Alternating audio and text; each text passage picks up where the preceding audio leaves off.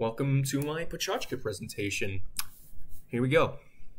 All right, so I'm not a cat person per se.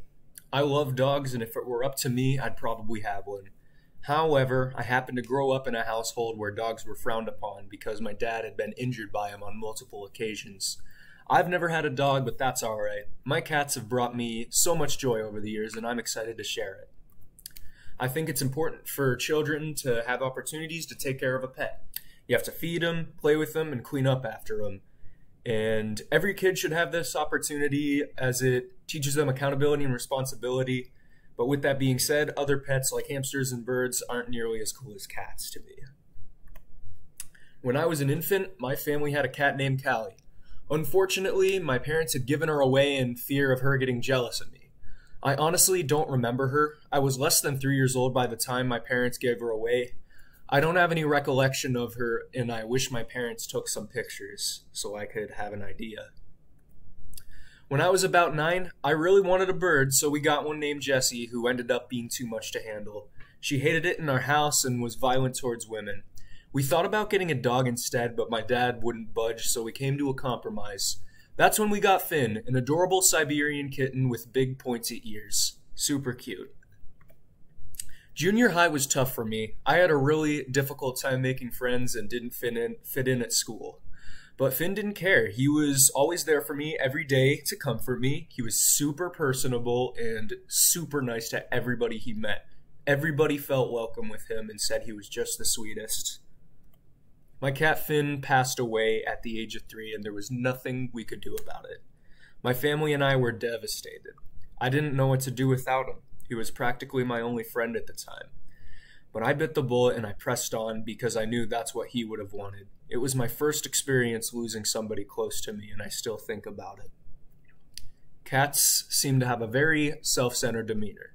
They aren't always begging for your attention, but when they are, they'll do absolutely whatever's necessary to get you to notice them. Cats have historically been seen as high status animals by humans, which is perhaps the reason they're so self important. Blame the Egyptians. Cats and dogs are among the most common household pets in the world, and it's easy to see why.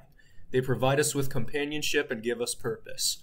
Above all else, they love you no matter what even if at everybody work at work doesn't like you, you have a loyal companion to come home to. Despite the maintenance, pets are ours until the end. Losing a pet is always hard to handle. Your pet is not only your companion and friend, but sometimes your partner in crime. You'll never be truly prepared for it to happen, and it may be months before you move on. But that's an unfortunate fact of life that we have to all face at some point.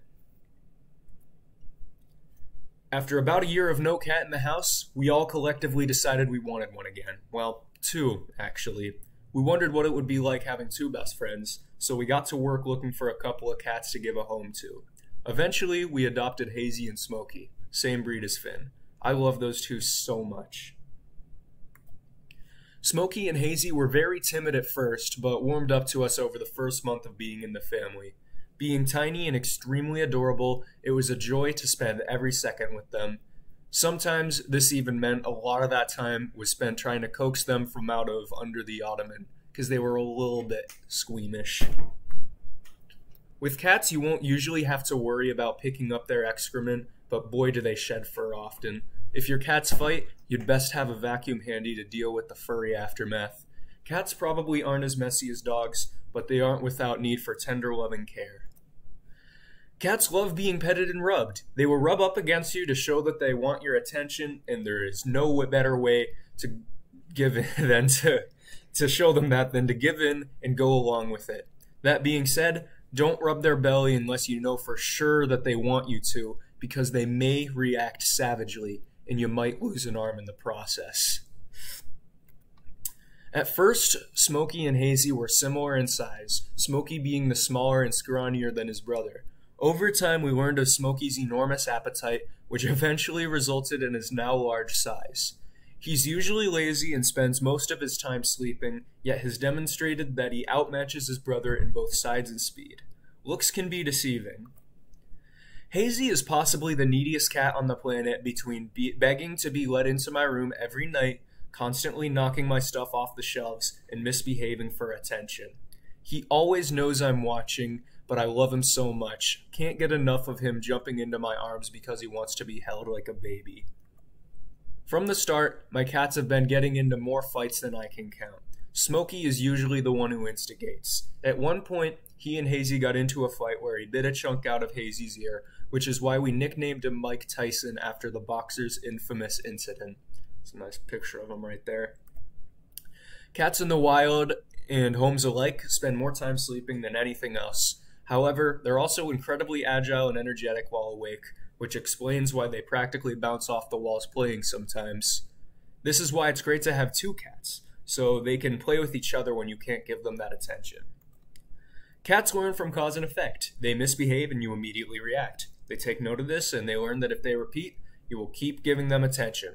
Although cats are independent animals, it's important for us to pay attention to them because if you don't, they'll learn that the only way for them to get your attention is to just keep getting in trouble with you. Getting a cat might be a good idea for you, but there are some key things to be mindful of. They are generally more independent than dogs, often loners, and good for busy lifestyles. They may not be as high maintenance as dogs, but what they lack in social skills, they make up for in love. And that's why I love cats. They are my favorite. Proving to be good companions through history and to the future, cats might be taking over more than just our hearts. When it comes to picking your next best friend, maybe consider these adorable felines. They have the most perfect nine lives for you and me to enjoy. Thank you.